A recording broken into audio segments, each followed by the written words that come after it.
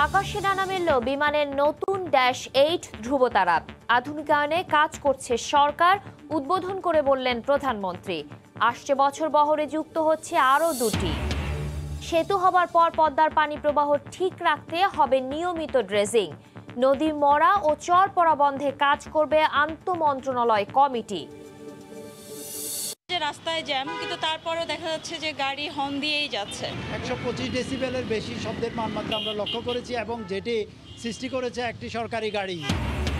ভয়াবহ শব্দ দূষণের কবলে রাজধানীবাসী। আইন না মেনে দেদার্সে ব্যবহার হচ্ছে নিষিদ্ধ হাইড্রোলিক হর্ন। নিয়ন্ত্রণে কঠোর হওয়ার তাগিদ।